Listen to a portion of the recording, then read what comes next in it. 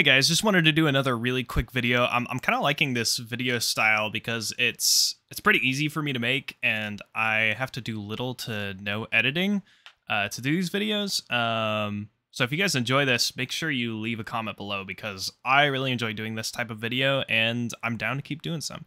Uh, so today we're going to be talking about um, just kind of a reflection that I had the other day. Um, so here's the story. So I was playing Zac against Aurelion Sol one night, and uh, I I did this because my my champ pool is kind of um play a little bit of Xerath, play a little bit of Bel'Veth, I play some Maokai, I play Zac, I play Ornn mid. So these these are all five the five main champions I play mid lane right now, and out of these five picks. Pretty much the only things I liked at the time playing against Aurelion Sol were Bel'Veth, and Zac. I didn't really want. I, I, I felt like Xerath shouldn't be something that should win against Aurelion Sol because Aurelion Sol uh, could just have the power to scale and uh, pretty much run the whole game. Um, sometimes I like picking Maokai against it for a similar reason as I like picking Zac against it. Uh, because he has a lot of CC, but he definitely doesn't have as much long range engage potential as Zac does. So at the time, um, you know, I, I like picking Bel'Veth against Aurelion Sol, but in this instance, our team didn't really have much magic damage.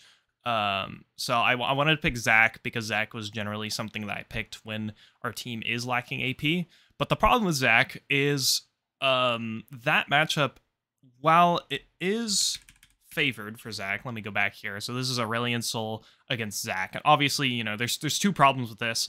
Um, the main one being that there's only 27 matches um, played, according to u.gg, Aurelion Sol versus Zac, and it is a favored matchup for Zac, but you have to think about most of the people who play Zac mid are one tricks, and they're going to know a lot more about the character than someone like me who's just kind of I, I pick Zac mid up because I think he's really fun. I like playing off meta picks and he's just really cool. It's just it's nice to be able to play a tank mid because when your top laner doesn't pick a tank, then you know, you're kind of screwed if you don't pick a front line. So I, I like playing Zac mid. But the problem with this matchup is it's actually very difficult to play. So although the win rate is favored, you pretty much have to be playing um, at your prime to be able to win this matchup. And the problem was that was the last game I played that night. I had already played a lot of games. I just had just gotten done streaming, um, and it, it's a very difficult matchup and I didn't play it very well, and I ended up losing the game. So I was thinking about like, I was looking at my champ pool, and I was thinking, is there a gap in my champion pool um, that I need to address?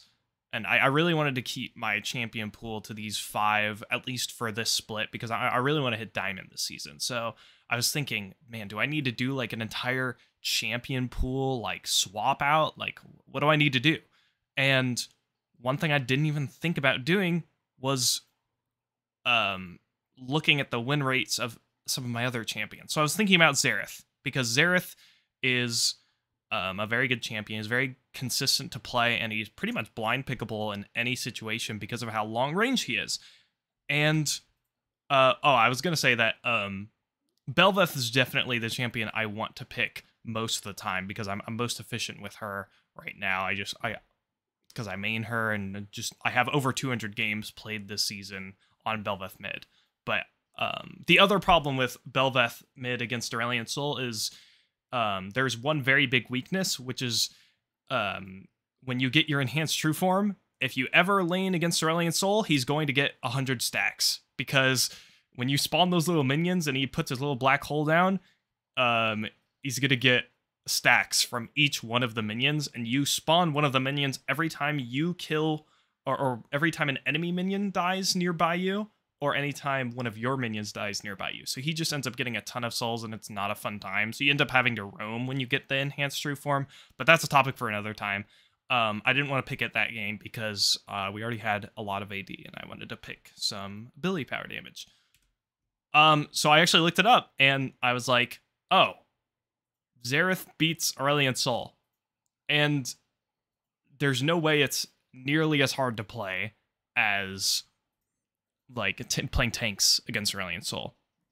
And the funny thing is, it's it's even better a win rate. So Aurelion only has a 47% win rate against Xerath, whereas uh, I think over here is like a 48% win rate against Zac. Yeah, so it's a better matchup and it's easier to play.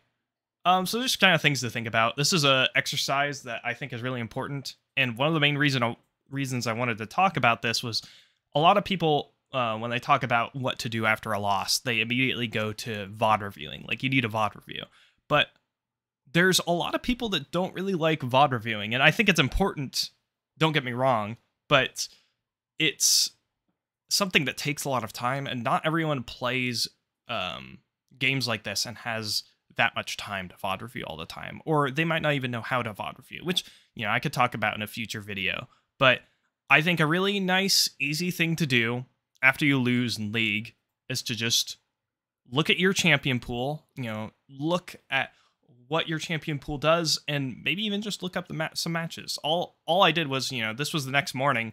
I kind of looked it up because I was curious. I was like, "There's no way Xerath beats Aurelion Sol, right?" And uh, I was wrong. Uh, Xerath does beat Aurelion Sol according to the statistics. So, you know, just something that to think about sometimes. And it wasn't something that I was aware of at the time, and I'm always open to learning things like that. Um, and I learned something new through doing that. And it only took me 10 minutes, like after the game, to kind of look at that.